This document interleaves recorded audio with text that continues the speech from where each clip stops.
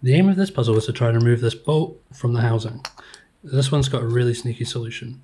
You might think you can remove some of these nuts and maybe then you can get a better angle on it and get it out, but there's no real way that it's coming out like that.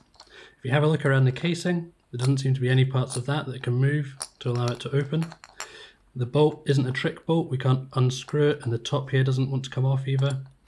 The only other part of this puzzle is these metal bars here and this one here seems pretty stuck in place. But this one over here spins around.